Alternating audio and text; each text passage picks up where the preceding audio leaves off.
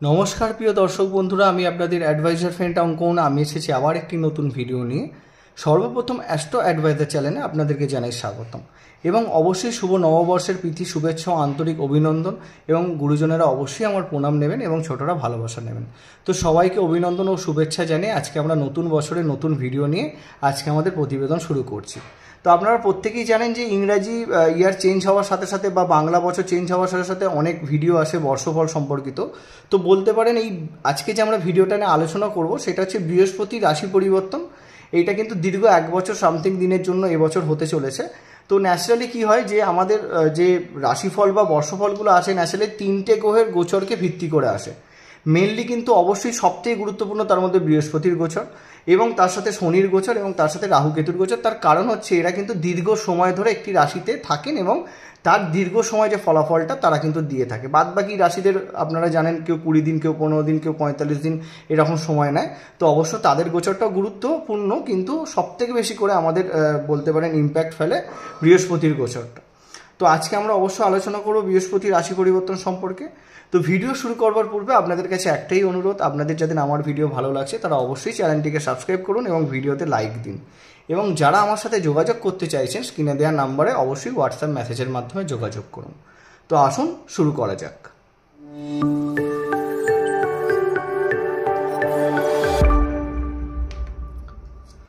তো সর্বপ্রথম আমরা এটা দেখব যে বৃহস্পতি এতদিন ধরে লাস্ট এক বছর ধরে মেষ রাশিতে গোচর করছিলেন। এবার বৃহস্পতি কিন্তু পয়লা মে, অর্থাৎ এই সামনে যে পয়লা মে আসছে দু হাজার চব্বিশের, সেদিনকে ঠিক দুপুর দুটো আড়াইটে নাগাদ কলকাতার সময় অনুযায়ী আমি বলছি, রাশি পরিবর্তন করে কিন্তু বিষ রাশিতে যাবে অলমোস্ট এক বছর, পনেরো দিন আমরা এখানে হিসাবে পাচ্ছি। আগামী পনেরোই মে দু হাজার পঁচিশ রাত্রির দেড়টা অবধি বা দুটো অবধি কলকাতার সময় অনুযায়ী কিন্তু বৃহস্পতি থাকবে বিষ রাশিতে। তো এর ফলে কিন্তু প্রত্যেকটা লগ্ন রাশির ওপর পজিটিভ এবং কিছুটা হলেও নেগেটিভ ইম্প্যাক্ট পড়বে। তো সেইটা নিয়ে আজকে আমাদের প্রতিবেদন। তো আমি এখানে কিন্তু প্রত্যেকটা ক্ষেত্রে লিখে দিয়েছি, দেখুন, এখানে সময়টাও লিখে দিয়েছি, বৃহস্পতির দৃষ্টিটাও লিখে দিয়েছি। বৃহস্পতি যে আপনারা জানেন যে বৃহস্পতির তিনটে দৃষ্টি হয়, সেটাও লিখেছি পঞ্চম, সপ্তম এবং নবম। এখানে দৃষ্টি সংক্রান্ত যে বিষয়টা আছে, সেটা আমি একটু ক্লিয়ার করে দিই। বৃহস্পতি যেখানে থাকবে, সেখান থেকে কিন্তু পঞ্চম, সপ্তম, নবম ঘরে দৃষ্টি দেবে। এবং তার সাথে আমি এইটাও এখানে মেনশন করে দিয়েছি, দেখুন, যে মেষ রাশি সাপেক্ষে বৃহস্পতি কোন ঘরে গোচর করছে? মেষ বিষ প্রত্যেকটা লগ্নের বা রাশি সাপেক্ষে লিখে দিয়েছি, যারা লগ্ন জানেন লগ্ন, যারা রাশি জানেন রাশি, যেটাকে ইচ্ছা ফলো করতে পারেন। তো সেক্ষেত্রে কি হচ্ছে? মেষ লগ্ন রাশি সাপেক্ষে দ্বিতীয় স্থানে বৃহস্পতির গোচরটা হচ্ছে এবং সে কিন্তু তার পঞ্চম দৃষ্টিতে ষষ্ঠ ঘর এবং সপ্তম দৃষ্টিতে অষ্টম ঘর এবং নবম দৃষ্টিতে দশম ঘরকে দেখছে। তো এই বিষয়টা নিয়ে অনেকের কনফিউশন আছে, দৃষ্টিটা নিয়ে আমি এখানে ক্লিয়ার করে দিই। দেখুন, মেষ লগ্ন বা রাশি সাপেক্ষে বৃহস্পতি গোচর করছে কোথায়? দ্বিতীয় স্থানে। তো দ্বিতীয় ঘর থেকে বৃহস্পতি পঞ্চম দৃষ্টিতে মেষ রাশি সাপেক্ষে কিন্তু মেষ রাশি ষষ্ঠ ঘরকে দেখবে। পঞ্চম দৃষ্টিতে ষষ্ঠ ঘর এবং সপ্তম দৃষ্টিতে অষ্টম ঘর এবং আপনার নবম দৃষ্টিতে দশম ঘরের ওপর দৃষ্টি দেবে। এইটা হচ্ছে দৃষ্টির ফ্যাক্টর তো এইখানে আমরা দেখছি কি? যে মেষ লগ্ন, মেষ রাশি সাপেক্ষে যদি আমরা শুরু করি ভিডিওটা, তাহলে সেক্ষেত্রে বৃহস্পতি দ্বিতীয় স্থানে গোচর করছে। বৃহস্পতি, মেষ লগ্ন, মেষ রাশি সাপেক্ষে কিন্তু নবমপতি এবং দ্বাদশপতি এবং সে নবম এবং দ্বাদশ ঘরের সে যাচ্ছে দ্বিতীয় স্থানে। দেখুন, প্রথমে আমি ভিডিওটা শুরু করবার আগে একটা বিষয় বলে দিই, যে বৃহস্পতি কিন্তু নিজের বলতে পারেন মিত্র গৃহে কিন্তু যাচ্ছে না। এতদিন যে মেষ রাশিতে ছিল, সেটা অবশ্যই বৃহস্পতির মিত্র গৃহ।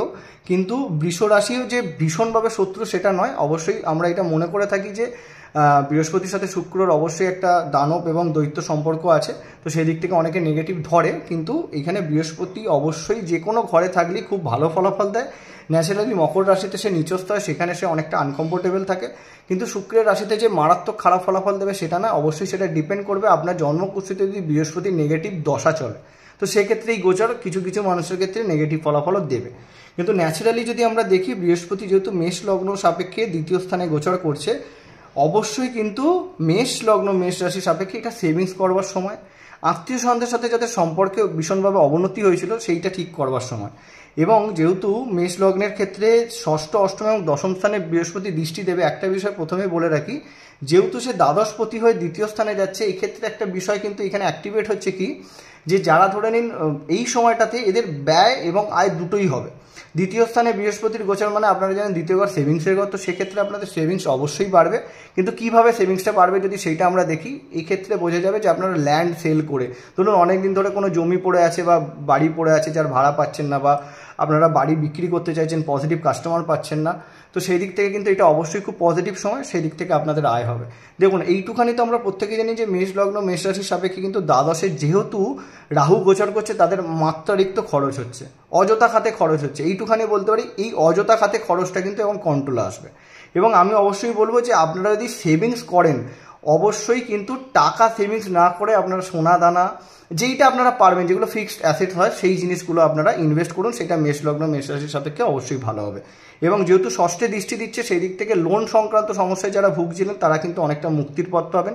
এবং তার সাথে অষ্টম দৃষ্টি মানে সরি সপ্তম দৃষ্টি যেহেতু অষ্টম ঘরে পড়ছে, কিছুটা বলতে পারেন, বাধা বাড়বে লাইফে বা যাদের ধরুন বাঁধা মারাত্মকভাবে চলছিল, তাদের কমে যাবে। এবং দশমে যেহেতু দৃষ্টি পড়ছে, নবম দৃষ্টি, সেক্ষেত্রে দেখুন, একটা বিষয় খুব ক্লিয়ার করে দিই যে, বৃহস্পতির পঞ্চম এবং নবম দৃষ্টিকে খুব পজিটিভ ধরা হয়। সে বৃহস্পতি যেই কোনো লগ্নের শত্রু গ্রহ হোক বা যাই হোক না কেন, সেক্ষেত্রে বৃহস্পতির কিন্তু পঞ্চম এবং নবম দৃষ্টিকে খুব পজিটিভ ধরা হয়। তো এখানে যেহেতু বৃহস্পতি নবম দৃষ্টিতে মেষ লগ্ন সাপেক্ষে দশম ঘরে দেখছে, তো সেখানে অবশ্যই তাদের কিন্তু পদোন্নতি, কর্মোন্নতির যোগ হান্ড্রেড পার্সেন্ট থাকবে। তার পরবর্তীতে চলে আসছি বৃষলগ্ন রাশি সাপেক্ষে। বৃহস্পতি কিন্তু এখানে আপনারা দেখুন যে সে কিন্তু অষ্টমপতি এবং একাদশপতি এবং তার সাথে সে কিন্তু গোচরে আসছে লগ্নে এবং তার সাথে সে দৃষ্টি দেবে কোথায়? মানে বৃষ লগ্নর সাপেক্ষে পঞ্চম, সপ্তম এবং নবম ঘরে দৃষ্টি দেবে। যেহেতু তার পাঁচ, সাত, নয় দৃষ্টি। তাহলে এখানে প্রথমে আপনাদেরকে বুঝতে হবে যে অষ্টমপতি এবং একাদশপতি হয়ে যেহেতু সে লগ্নে গোচরে আসছে, যেহেতু দুটোই নেগেটিভ ঘরের অধিপতি হয়ে লগ্নে আসছে, সেহেতু এখানে বিশ্বলগ্ন বিশ্বরাশি সাপেক্ষে কিছুটা নেগেটিভ সময় আমরা ধরতে পারি। কীরকম দিক থেকে নেগেটিভ তাদের কিন্তু অতিরিক্ত পরিশ্রম বাড়বে, খাটুনি বাড়বে এবং এইটাও আমি বলছি, যারা ধরে নিন খুব স্মুথলি লাইফ কাটাচ্ছিলেন, সেখানে কিন্তু বাধা আসবে। এই বিষয়টা আপনাদেরকে বুঝতে হবে। কিন্তু কিছু কিছু জায়গাতে পজিটিভিটি আছে, যেরকম প্রথমেই বললাম আমি। যেহেতু বৃহস্পতির পঞ্চম দৃষ্টি আপনার পঞ্চম স্থানে চলবে, যারা কিন্তু এডুকেশন নিয়ে চিন্তা করছিলেন যে আপনারা পজিটিভলি ট্রাই করছিলেন যে কোনো ইনস্টিটিউশনে ভর্তি হওয়ার সেই জন্য কিন্তু ভীষণ ভালো সময়।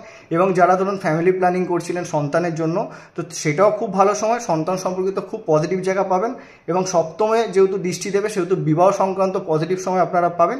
এবং যেহেতু নবমে দৃষ্টি দেবে, সেই অর্থে ধর্ম অবশ্যই ধর্মে যে জায়গাগুলো আছে বা ধর্ম প্রতিষ্ঠানে ঘোরাঘুরি করার বা ঘুরতে যাওয়ার কিন্তু যোগ্য একটা এখানে দেখা যাচ্ছে। কিন্তু একটা বিষয় খুব ক্লিয়ারলি বলে দিই, যেহেতু অষ্টম এবং একাদশ সে লগ্নেই বা আপনার রাশিতেই গোচার করছে, সেদিক থেকে কিছুটা হলো বাধা কিন্তু তারা আপনাদেরকে দেবে।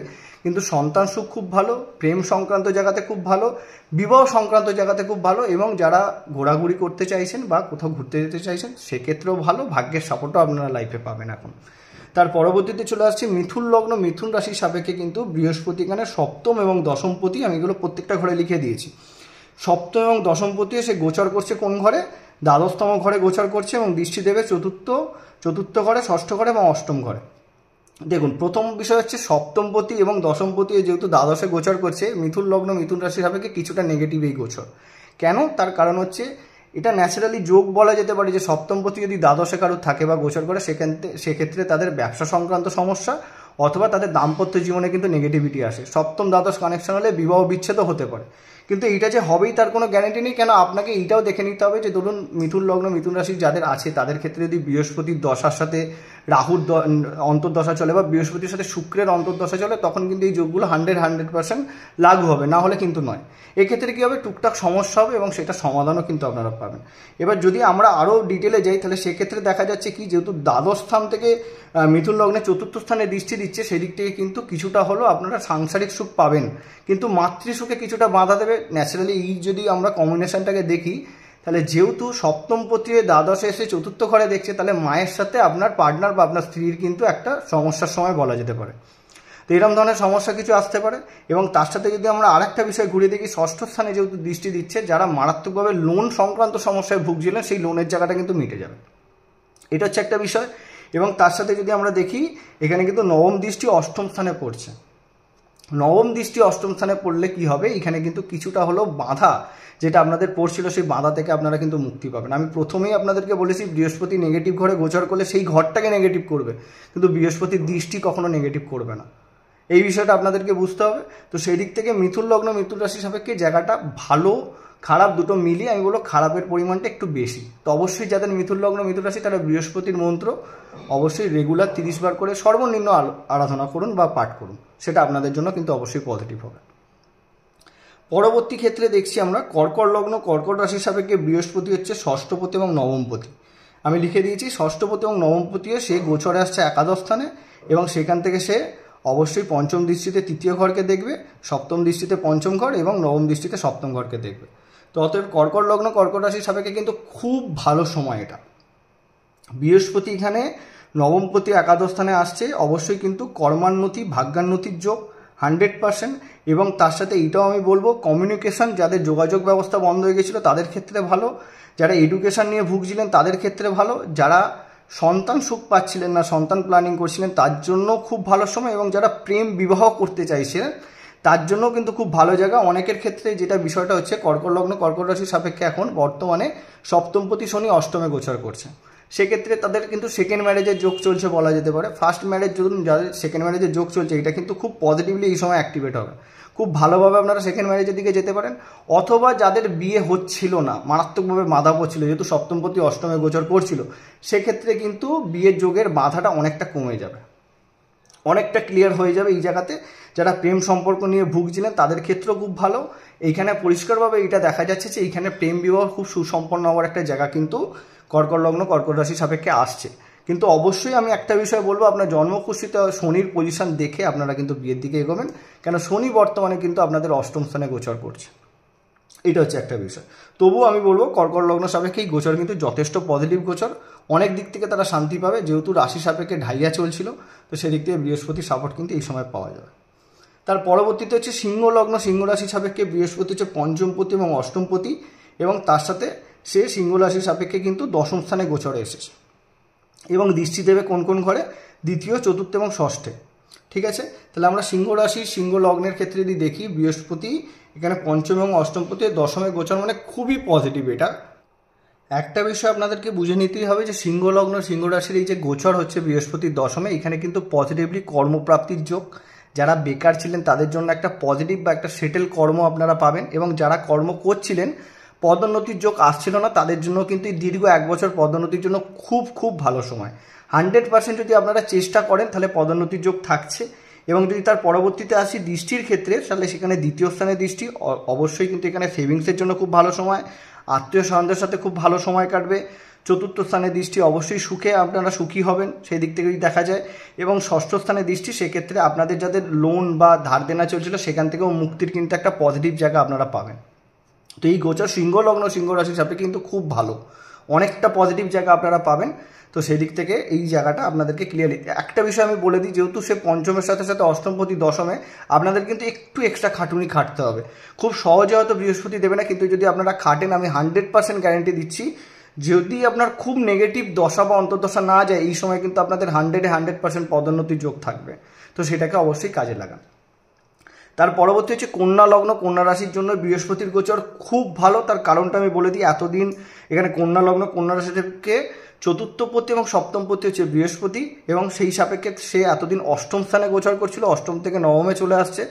তো চতুর্থপতি এবং সপ্তমপতি যেহেতু অষ্টমে গোচর করছিল এবং লগ্নে যেহেতু কেতুর গোচর হচ্ছে, খুব খুব নেগেটিভ অবস্থাতে কন্যা লগ্ন, কন্যা রাশির মানুষরা কাটাচ্ছিলেন। সেখান থেকে কিন্তু হাফ ছেড়ে বাঁচার সময় এবং খুব পজিটিভ এই গোচর, কেননা সে কিন্তু আপনার লগ্নে দৃষ্টি দেবে, তৃতীয় এবং পঞ্চমে দৃষ্টি দেবে। অবশ্যই কিন্তু লগ্নে যে কেতুর গোচর হচ্ছিল, যে আপনারা একাকিত্ব বা খুব স্ট্রেস বা খুব সমস্যাতে ভুগছিলেন, সেই জায়গাটা থেকে কিন্তু আপনাদেরকে মুক্তি দেবে। এবং নবমে সপ্তমপতি এবং চতুর্থপতির গোচর কিন্তু অবশ্যই এই সময়টা সুখের জন্য এবং মানে পার্টনারশিপ বিশেষের জন্য বলতে পারেন অথবা তার সাথে আপনার যে দাম্পত্য জীবনে সুখের জন্য খুব ভালো সময়। দীর্ঘ সময় হয়তো ডিস্টেন্সের মধ্যে ছিলেন, সেই জায়গাটা কিন্তু এখন ঠিক হবে। অবশ্যই সেদিক থেকে খুব ভালো এবং যেহেতু লগ্নে দৃষ্টি দেবে, আপনার মেন্টাল স্টেবিলিটি বাড়বে। তৃতীয় দৃষ্টি কিন্তু আপনার কমিউনিকেশন আপনার যোগাযোগ ব্যবস্থা বৃদ্ধি পাবে এবং পঞ্চম দৃষ্টি কিন্তু সন্তান সুখ বা প্রেম সম্পর্কের সাথে যারা ছিলেন তাদের জন্য খুব ভালো। বা যদি আমরা আরও ঘুরে দেখি যারা এডুকেশন নিয়ে চিন্তিত ছিলেন, তার জন্যও কিন্তু খুব ভালো। অবশ্যই কিন্তু এই গোচরটা কন্যা লগ্ন, কন্যা রাশির জন্য সব থেকে বেস্ট গোচর, কেন বৃহস্পতির সাপোর্টটা তারা পাবে। দেখুন, আগে আপনাদেরকে বুঝতে হবে যে কন্যা রাশি, কন্যা লগ্নের কিন্তু ভীষণ খারাপ সময় চলছে। তো সেই খারাপ সময়ের অনেকটা পজিটিভিটি কিন্তু বা নেগেটিভিটি বৃহস্পতি কাটিয়ে দেবে। এইটা আপনাদেরকে বুঝতে হবে। তার পরবর্তীতে চলে আসছি তুলা লগ্ন। তুলা রাশি সাপেক্ষে বৃহস্পতি কিন্তু তৃতীয় এবং ষষ্ঠপতি তৃতীয় এবং ষষ্ঠপতি হয়ে সে গোচরে যাচ্ছে অষ্টম স্থানে, তাহলে এখানে বিপরীত রাজ্যকের একটা সিস্টেম আসছে। তো তার সাথে অষ্টমে গিয়ে সে কিন্তু দৃষ্টি দিচ্ছে দ্বাদশ, দ্বিতীয় এবং চতুর্থ স্থানে। তো অবশ্য আমি বলব যে তুলা লগ্ন, তুলা রাশি সাপে কিন্তু বৃহস্পতির এই গোচর খুব একটা সুবিধাজনক নয়। তো এইখানে কিছুটা সমস্যা তাদের আসতে পারে। সে সেই সমস্যাগুলো যদি আমরা প্রাধান্য দিই, তাহলে অষ্টমে বৃহস্পতি গিয়ে কিছু সমস্যা দিতে পারে, যেরকম ধরে নিন আপনাদের লাইফে বাধা সৃষ্টি করতে পারে। অথবা আপনারা ধরুন দীর্ঘ সময় ধরে কোনো রোগে ভুগছিলেন, সেই রোগটা অ্যাকচুয়ালি কী রোগ সেটাই ধরা পড়ছিল না, সেই জায়গাটা কিন্তু আপনাদেরকে বৃহস্পতি ক্লিয়ার করে দিতে পারে। এবং অষ্টমে বৃহস্পতির গোচর শ্বশুর বাড়ি সংক্রান্ত যদি কোনো সমস্যাতে আপনারা ভুগছিলেন, সেই জায়গা থেকে মুক্তি। বা সেকেন্ড ম্যারেজ যারা করতে চাইছেন, সেই জায়গাটা আপনাদের জন্য ভালো। তাহলে নেগেটিভ কি? যেহেতু এখানে দ্বাদশ স্থানে, দ্বিতীয় স্থানে এবং চতুর্থ স্থানে দৃষ্টি দিচ্ছে, এই ক্ষেত্রে তুলা লগ্ন, তুলা রাশি সাপেক্ষে কী হবে? এখানে কিন্তু কিছু সম্পত্তি ব্যয়ের একটা যোগ কিন্তু দেখা যাচ্ছে। ধরেন না, আপনারা পুরনো গাড়ি, বাড়ি যেটা তো হয়তো বিক্রি করতে পারছেন না, সেটা বিক্রি করলেন, সেটা ভালো না, খারাপ, সেটা অবশ্যই ডিপেন্ড করবে কিন্তু আপনার জন্মকুশিতে কোন গ্রহের দশা চলছে। যদি নেগেটিভ গ্রহের দশা চলে, ধরুন সাপোজ আপনার দেখা গেল যে বৃহস্পতির সাথে রাহুর অন্তর্দশা আপনার চলছে, সেখানে কিন্তু আপনার সমস্যা আসবে। এবার যদি আপনার জন্মকুষ্ঠিতে কোনো রকমভাবে শুক্রকে স্ট্রং করবার কোনো জায়গা থাকে, তাহলে আপনারা যদি করতে পারেন। ধরুন আপনার জন্মকুষ্ঠনে যে যাদের তুলা লগ্ন, শুক্রকে স্ট্রং করবার জায়গা আছে বা শুক্রের রত্ন যদি আপনারা পড়তে পারেন, সেক্ষেত্রে কিন্তু আপনারা অবশ্যই ভালো ফলাফল পাবেন কারণ এটা বিপরীত রাজ্যকে চলে যাবে। তো সেই দিক থেকে যদি আমরা চিন্তা করি, তুলা লগ্ন, তুলা রাশি সাপেক্ষে গোচরটা খুব একটা ভালো নয়। তার পরবর্তীতে আসছি বৃশ্চিক লগ্ন, বৃশ্চিক রাশি। বলতে পারেন মানে কন্যা লগ্ন, কন্যা রাশির পরে কিন্তু এই যে লগ্ন রাশি, বৃশ্চিক লগ্ন, বৃশ্চিক রাশির জন্য কিন্তু যথেষ্ট সুখের সময়। কেন? তার কারণ হচ্ছে বৃশ্চিক লগ্নর অধিপতি হিসাবে দ্বিতীয় এবং পঞ্চম ঘরের অধিপতি হয়ে সে কিন্তু গোচর করছে সপ্তম স্থানে। তো দ্বিতীয়, পঞ্চম হয়ে সপ্তমে মানে হান্ড্রেড পার্সেন্ট যাদের বিবাহ আটকে ছিল তাদের জন্য খুব ভালো সময়। বিয়ের যোগ কিন্তু হান্ড্রেড পার্সেন্ট ও প্রেম বিবাহের যোগ আরও ভালো। এবং তার সাথে যদি আমরা দেখি, বৃষ্টিকে সে, বৃষ্টিক লগ্ন সাপেক্ষে সপ্তমে গোচর করে সে কিন্তু তার পঞ্চম দৃষ্টিতে একাদশ ঘরকে দেখছে, অতএব এখানে কিন্তু ইচ্ছা পূরণের সময়।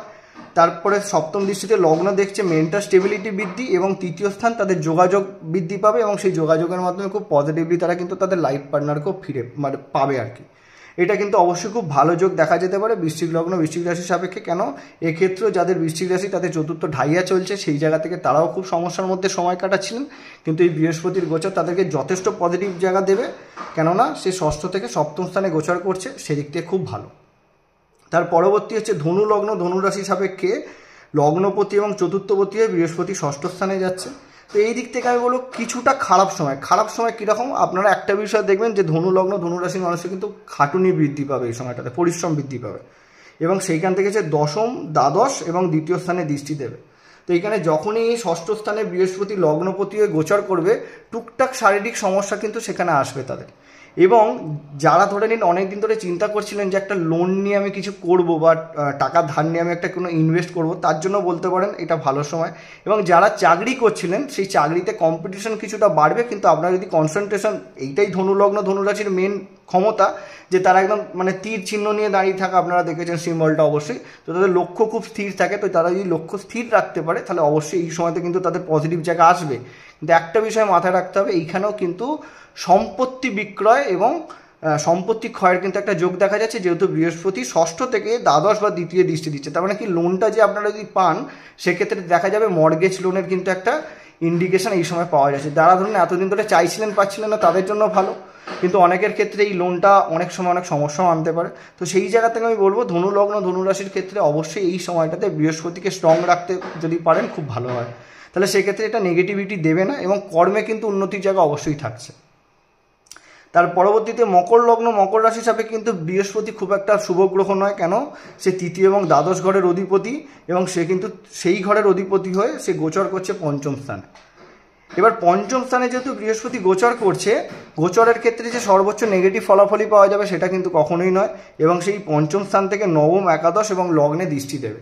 তো এইখানে আমি বলব কিছু সমস্যা কিন্তু মকর লগ্ন, মকর রাশির ক্ষেত্রে আসবে এবং কিছু ভালো আসবে। দেখুন, প্রত্যেকটা গ্রহের গোচরের ক্ষেত্রে প্রত্যেকটা জিনিসের যেরকম ভালো গুণ আছে, তার খারাপ গুণও আছে, তো ভালো গুণটাও শুধু পাবেন, খারাপটা পাবেন না, সেটা তো নয়, দুটোই ভোগ করতে হবে।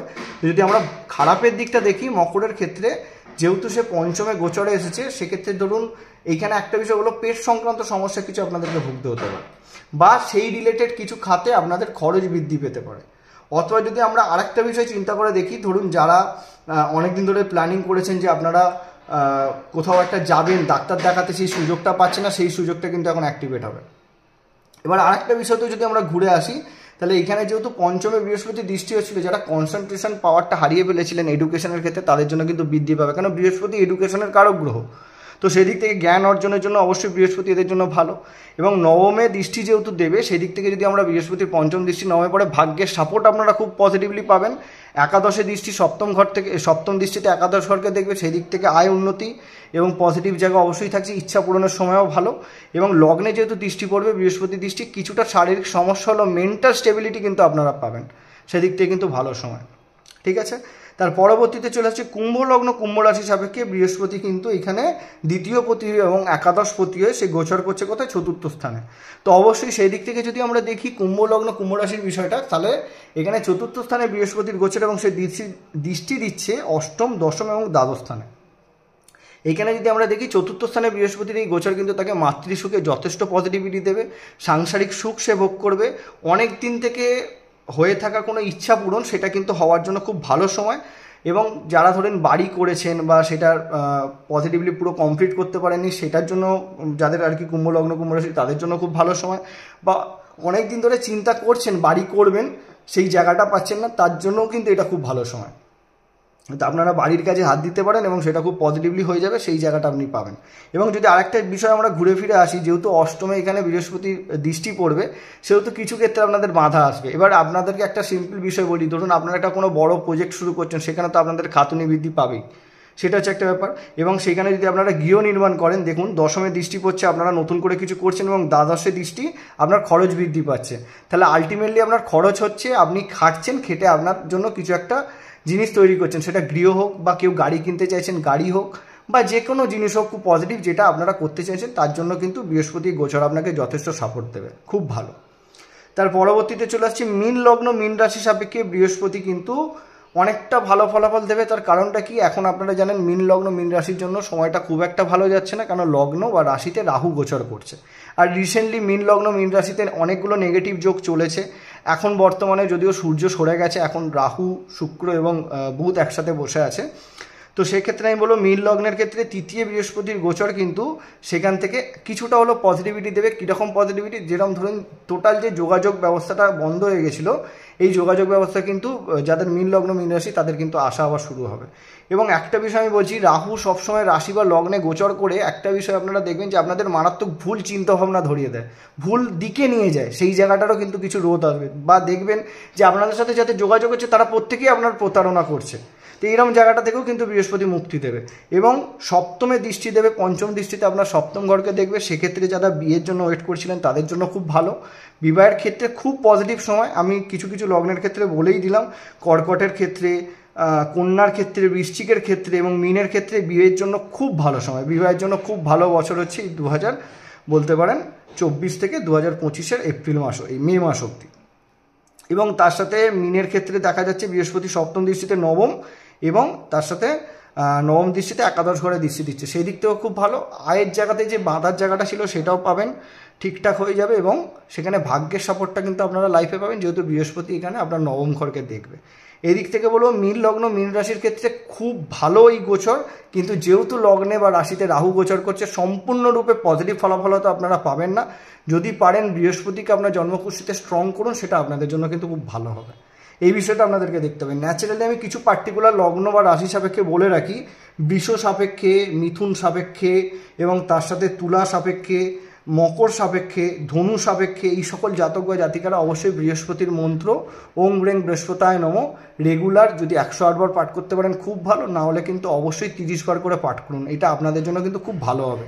এবং দেখে নিন যে আপনাদের বৃহস্পতির দশা মানে এই সকল লগ্নগুলোর কথা বলছি, বৃহস্পতির দশার সাথে কোনো নেগেটিভ গ্রহের অন্তর্দশা চলছে কিনা। তাহলে সেই রিলেটেড সমস্যা কিন্তু আপনাদের বেশি হবে। খুব খারাপ, আমি সেটা একবারও বলছি না। কিন্তু আপনাদের ক্ষেত্রে আমি এই জিনিসটা বলব যে এই বছরটা একটু সাবধানে থাকবেন, একটু স্লো হয়ে যাবেন। তাহলে সেক্ষেত্রে নেগেটিভ জায়গাটা আসবে না বা বৃহস্পতির মন্ত্র যদি পাঠ করেন, সেই দিক থেকে নেগেটিভিটি আসার জায়গাটাও আসবে না। এই ছিল হচ্ছে আজকে আমাদের বৃহস্পতির গোচর ফল সম্পর্কে আলোচনা। আশা করি আপনাদের ভিডিওটা ভালো লাগবে। যদি ভালো লাগে, অবশ্যই চ্যানেলটিকে সাবস্ক্রাইব করবেন এবং ভিডিওতে লাইক দেবেন। দেখা হচ্ছে পরবর্তী ভিডিওতে। নমস্কার।